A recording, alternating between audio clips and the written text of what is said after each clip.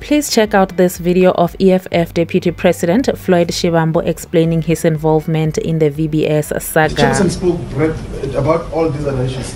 Siblings relate on a variety of issues and everything else. But one thing which uh, I would say categorically clear is that I, I am not involved in my younger brother's businesses. I did not even get to pay attention to it. The only time I asked about the details of his businesses was when they said it's mentioned in the VBS Mutual Bank report. But that's why I say that did you get did you get such money? What is the basis of you getting such money? And then I was then given access to the service level agreement which he had with Very. And that is the only time I got to, uh, to, to, to appreciate the dynamics around that. Otherwise, I'm not involved uh, in his businesses. We do not stay in the same house. He has got his own family, he's got, he's got his own wife and children. He's, he's an adult. You said, he's, we're not, same, we're not the same person.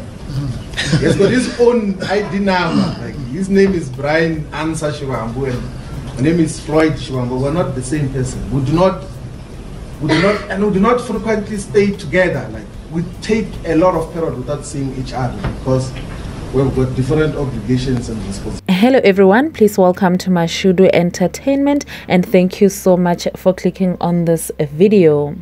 EFF Deputy President Floyd Shivambu said this following the leak of an affidavit by the convicted former chairperson of the VBS Tshifhiwa Matodzi who detailed how he offered Malema and Shivambu millions in a bid to stop them from speaking negatively about the bank.